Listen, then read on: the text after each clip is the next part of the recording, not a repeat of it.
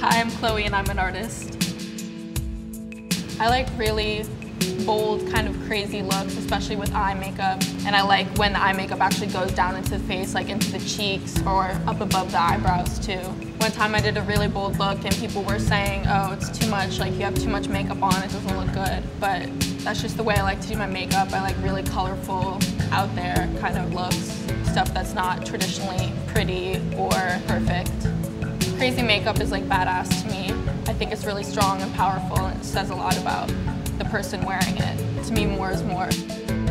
I don't think there should be any rules to makeup. People are always trying to, you know, make beauty rules, but I don't think those should exist. There should be no limits.